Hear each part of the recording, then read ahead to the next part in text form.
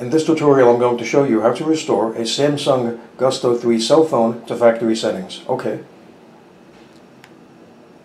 Go to menu. Settings.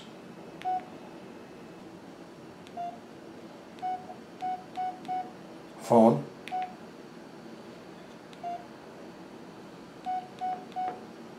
Security. Okay, now enter the last four digits of your phone number. Okay, now enter the last four digits of your phone number.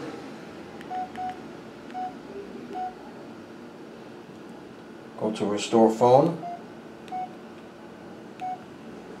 Yes.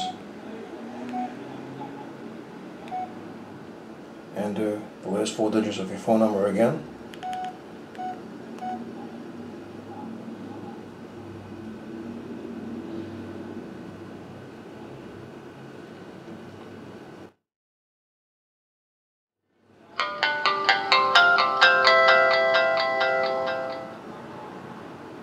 There you go, the phone has been restored to factory settings. So I hope you found this video useful. If you have, please show your support for this channel by subscribing. Feel free to leave comments. Please like up this video, and thank you for tuning in.